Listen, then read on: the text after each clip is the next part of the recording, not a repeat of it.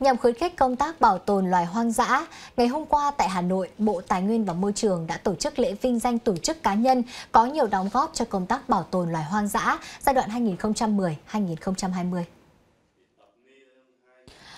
Cá nhân tổ chức được vinh danh là các nhà khoa học, nhà báo, cơ quan nghiên cứu, các tổ chức cá nhân đang hoạt động trong lĩnh vực bảo tồn.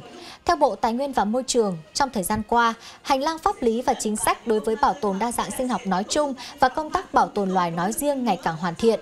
Đằng sau những kết quả đó là những đóng góp của toàn xã hội. Trong bối cảnh chung của thế giới, các loài hoang dã tiếp tục bị suy giảm nghiêm trọng. Việc bảo tồn đa dạng sinh học nói chung và bảo vệ các loài hoang dã nói riêng vẫn cần được quan tâm.